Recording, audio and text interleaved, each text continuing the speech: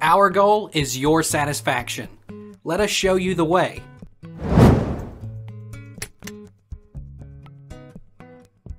How long does it take to freeze water at 30 degrees?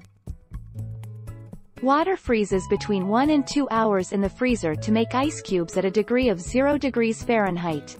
Freezing duration will be affected by the amount of water. If the temperature of the water is very cold or very hot it will allow the water to freeze even faster at around 45 minutes.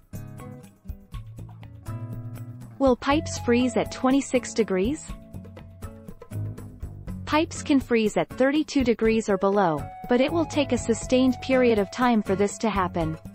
In other words, a pipe needs to be at freezing temperatures for at least half a day before homeowners have to worry about any freezing occurring.